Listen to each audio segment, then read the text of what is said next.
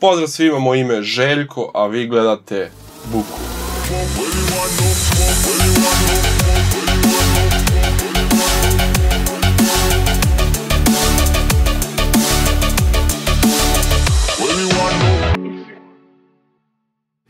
Digital Audio Workstation ili na našem digitalna audio radna stanica je vrsta softvera ili u malom procentu hardvera za snimanje, editovanje, miksovanje i procesovanje digitalnog audio formata.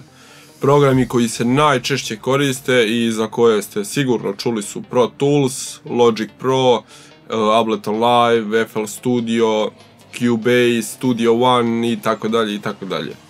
Svaki program ima svoj jedinstven grafički interfejs, ali sve u svemu svi ovi programi imaju mogućnost snimanja, korišćenja efekata, virtualnih instrumenata i konekcije raznih MIDI kontrolera koje imamo na tržištu.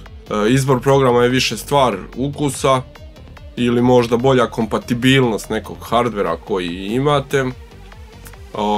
Ljudi često dolaze u raspravu koji program je bolji, da li ovaj, da li onaj, ovaj ima ove funkcije, ovaj nema i tako dalje i tako dalje. Ako mene pitate, svi su programi dobri. Bitno je da dobro poznajete funkcije programa koji koristite, isto tako i prečice na tastaturi.